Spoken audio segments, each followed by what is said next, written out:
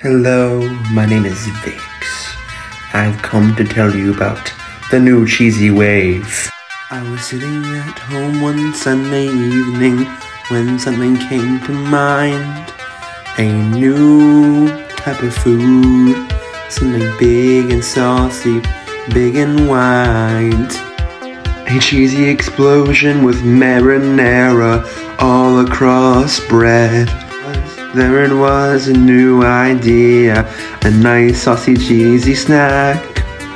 I put the cheese and the sauce on and tasted something beautiful. It was one giant cheesy saucy explosion, one big cheese erosion in my mouth. It was so new and exciting. I brought the idea to the shark. I gave them a slice, one beautiful slice.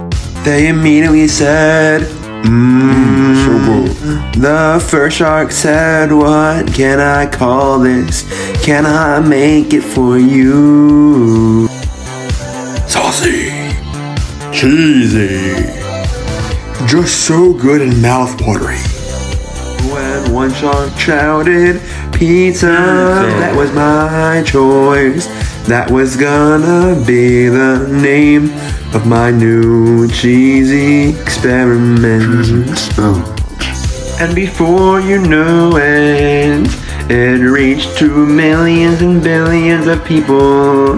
They ate it and swallowed it and enjoyed the nice piece. Then, but then, a liability risk. Oh, what? But then, a liability risk. A kid choked on a slice. What will we do?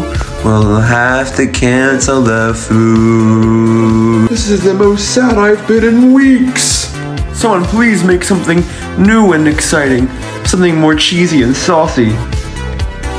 Pasta, pota, ravioli.